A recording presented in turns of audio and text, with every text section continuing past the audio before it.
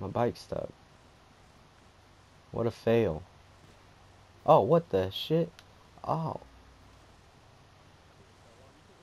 Oh, man.